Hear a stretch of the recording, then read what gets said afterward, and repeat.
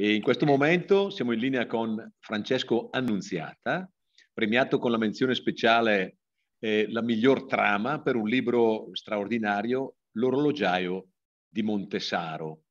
Non so se l'ho pronunciato bene. Sì, e, e, scopro, e scopro, Francesco, dal, dalla, sì. dall'immagine tua che tu sei proprio un orologiaio. Eh? Beh, questo sì, sono orgoglioso di dirlo e di, e di confermarlo perché è stato proprio la, la ragione della mia vita, fare l'orologiaio. Sono nato forse orologiaio perché da piccolino mi ero innamorato degli orologi e della bottega del mio maestro che cito nel mio romanzo, esatto. dove sono orgoglioso di averlo incontrato, di averlo conosciuto e di aver appreso proprio il lavoro da lui.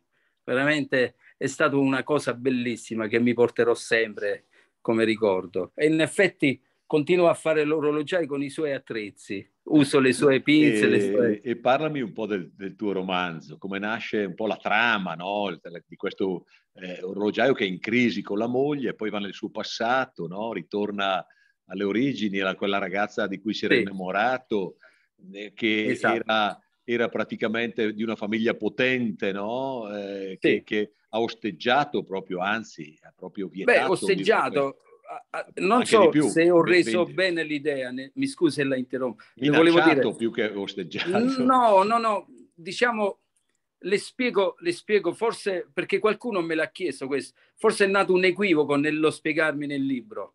Praticamente loro mi hanno solo detto di farmi da parte perché per loro non esistevo, ero invisibile.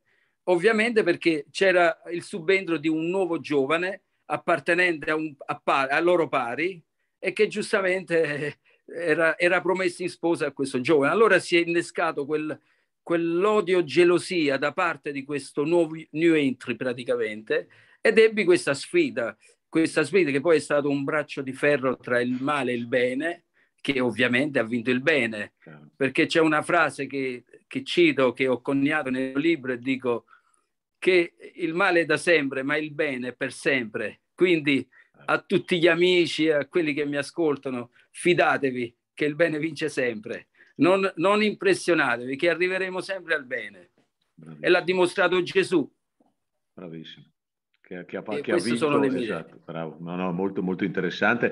Tra l'altro un libro molto scorrevole, anche se la trama è a tratti nel senso complessa, integrata, cioè perché si va avanti, indietro nel passato, i personaggi costruiti in modo veramente molto, molto interessante e, e, ha colpito proprio questa storia, no? con questo eh, ritorno anche al passato e alle origini, eh, veramente, veramente molto bello.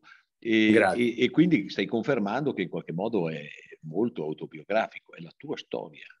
Beh, eh, diciamo che tutto ah, quello che racconto fa parte della mia vita, anche paradossalmente, anche la storia di Hemingway, che ho raccontato, è vero che ho fatto un po', come dire, lì c'è un po' di conflitto di interessi. Ho voluto un po' pubblicizzare le mie terre, le ho volute decantare, però le ho fatte a modo mio.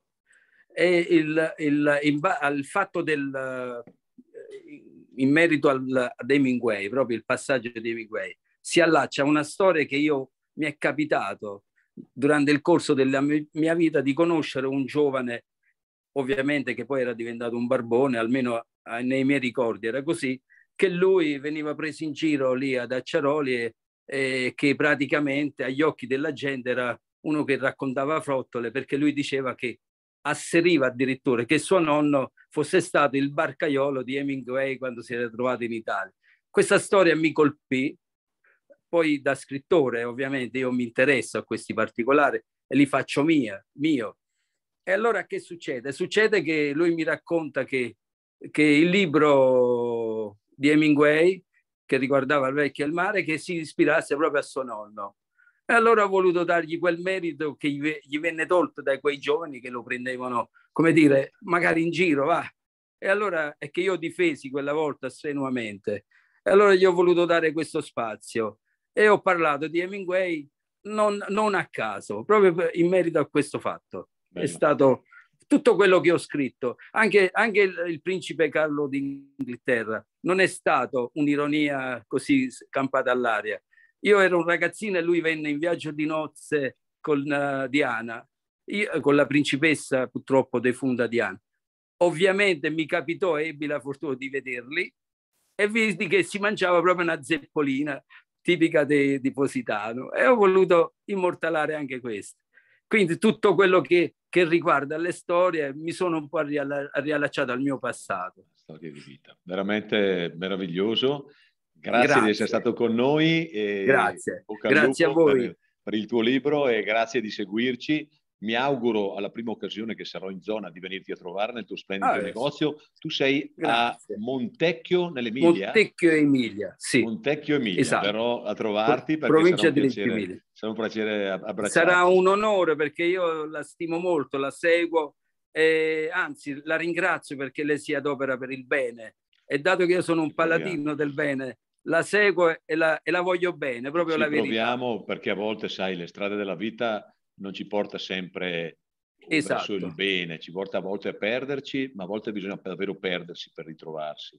E qui, e, e qui, e qui sì, c'è la teoria de, che ho detto prima, che, eh, di stare sereni e tranquilli perché il bene arriva. Bene arriva. Prima o poi io, io, sono felice, ho passato delle vicissitudini, ma adesso ho una figlia di 22 anni, una moglie che è ritornata da me, mi vuole bene e abbiamo ricostruito una bellissima Bello. famiglia. Quindi bisogna crederci nelle e cose e volerle. Soprattutto, eh, Francesco, credo che sia, ci sia, la vita ci dà sempre la possibilità di scegliere, anche quando esatto. ci accadono delle cose brutte o quando, anche quando sbagliamo nella vita, dobbiamo sempre l'opportunità di scegliere il bene, perché la, la vita ci dà sempre la scelta. Esatto, e, esatto. È quello che ci porta a, a, crescere nella vita, a evolverci come esseri umani, non restare arroccati sul nostro errore o su quello che c'è, sulle disgrazie che ci sono successe, ma coglierle come opportunità per essere migliori, per guardare esatto. verso il bene.